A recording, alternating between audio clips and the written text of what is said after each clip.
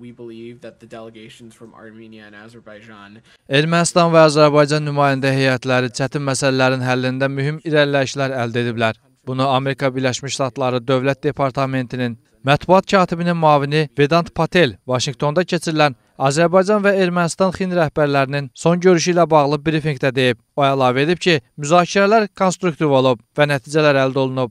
Uh, both countries, as you know, agreed in Hər iki principle ölkə bildiyiniz kimi prinsipcə müəyyən şərtlərlə razılaşıblar və bir-birini daha yaxşı başa düşürlər. Biz inanırıq ki, əlavə kompromislər və razılaşmalar da əldə edilə bilər. Birləşmiş Ştatları iki ölkə arasında dialoqların davamlı olması üçün və sülhün təmin edilməsi üçün tərəflərə dəstəyini davam edəcək.